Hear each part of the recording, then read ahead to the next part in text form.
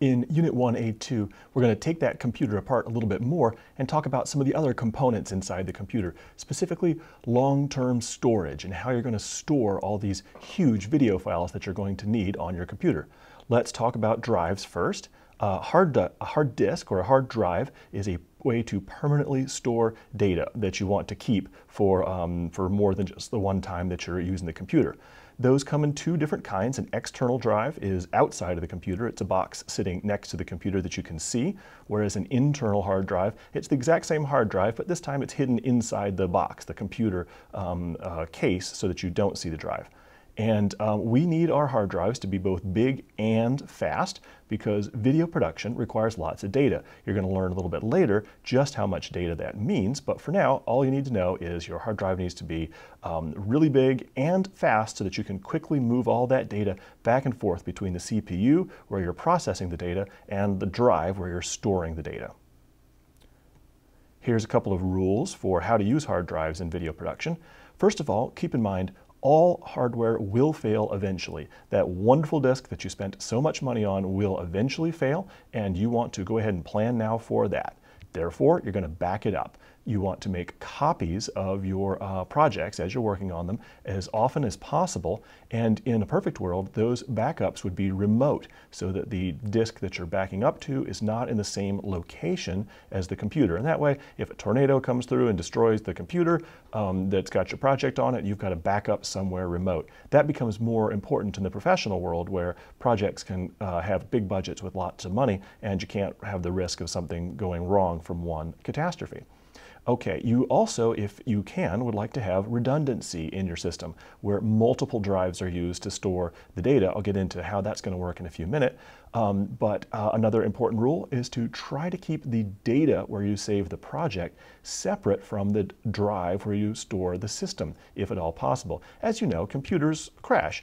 All computers fail uh, sometimes, and if the disk that has all your operating system and all your applications on it fails, it would be nice if the separate disk had the project on it. So if necessary, you could just pull that disk out of the computer and connect it to a different computer and you'd be back up and running again. So it's nice to try to keep the project separate from the computer.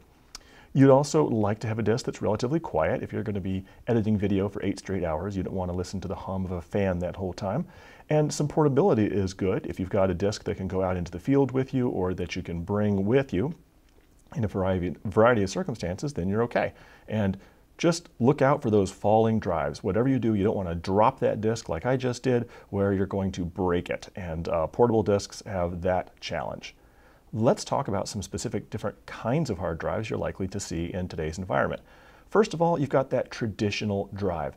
Inside that traditional drive, and I've taken a picture of this one so you can look at its guts, there is a metallic disc that literally holds all the data as a magnetic um, recording on the disk. And there's a little needle, kind of like the old record days, that literally reads the data or writes the data to that disk. Now, today's hard drives spin very, very fast, and that uh, reader can move very fast on it, but it's still a reasonably fragile system. You've got spinning plates in there.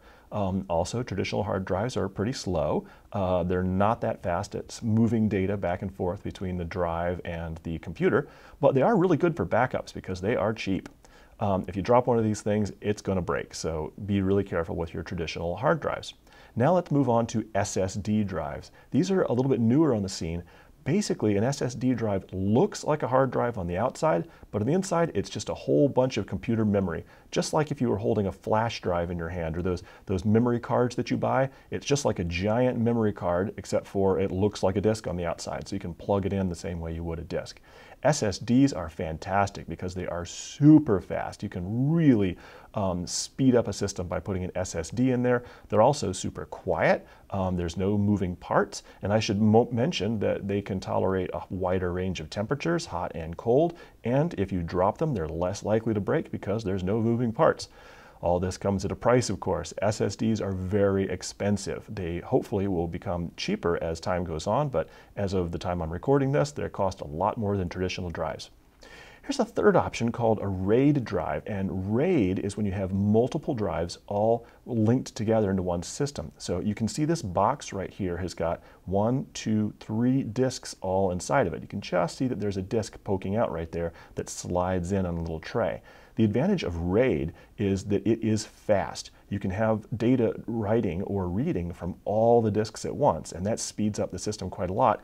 It's also redundant. If you set up the RAID properly, then the data can be duplicated on more than one drive. So let's say I've got my project saved on my big RAID here, and then one of my drives fails. Drive B right here goes bad. Well, if I've set it up to be redundant, I can pull drive B out, put in a new drive B, and the RAID will automatically repair itself. It'll copy all the backed up data from the other disks back onto the new drive B, and I'm back in business. One uh, dead disk did not slow me down too much. So RAIDs are also nice. They're super fast and they're redundant. And here's a nice chart that's showing you some different speeds of drives. Speeds are important. So when you're looking at the drive that you want to buy, pay attention to whether it's FireWire or USB or eSATA or um, these new Thunderbolt drives that are coming along.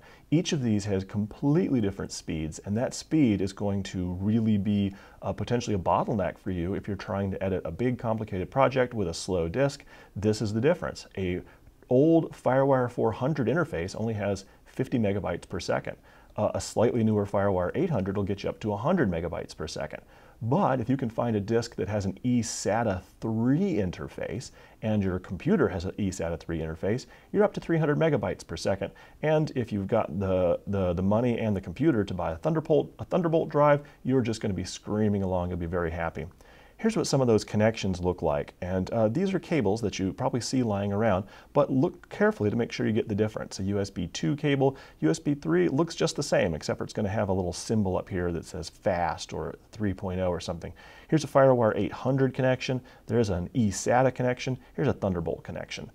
So how fast is the drive that you're currently working right now? Well, ask your teacher. Your school may or may not have had the funds to put together a really fast system for you, but it might be interesting to take a moment to learn about the system that you're working on and what its speeds or limitations are.